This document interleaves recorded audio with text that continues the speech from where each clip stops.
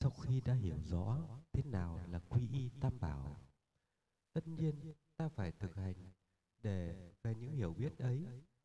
Thực hành tam quy bằng sự tướng cung kính vâng theo tam bảo, như thể gọi là sự quy y tam bảo. Thứ nhất là ta quy y phật, hàng ngày chúng ta phải tưởng nhớ đến phật, niệm danh hiệu ngài chiêm ngưỡng tượng ngài trí tâm thật ý, lễ bái để tỏ lòng sùng kính ngài. Ấy là sự quy y phật. Sự quy y pháp hàng ngày đọc tụng kinh, luật, luận trên giấy trắng, mực đen. Sớm hôm hai thời công phu, tìm hiểu ý nghĩa thâm huyền của pháp bảo, càng tốt không biết nghĩa tụng xuông cũng không phải là vô ích.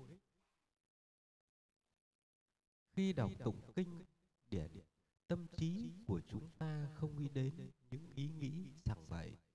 không nhớ tưởng những việc không hay không bàn mưu tính kế để lợi ích tổn nhân. chúng ta trừ bỏ dục vọng tâm trí phải sáng suốt an lành và thanh tịnh sự quy tăng. Thế gian thường nói, trọng phật thì phải kính tăng. Cho nên chúng ta thành tâm thờ phật bao nhiêu thì chúng ta lại phải thật giả kính tăng bấy nhiêu.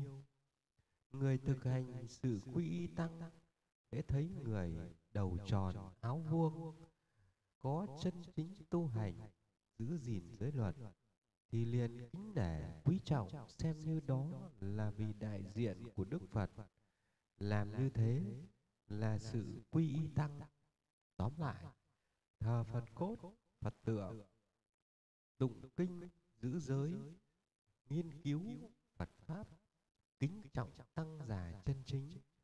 Đó chính là sự quy y tam bảo, hay nói nôm na, đó là theo đạo phật.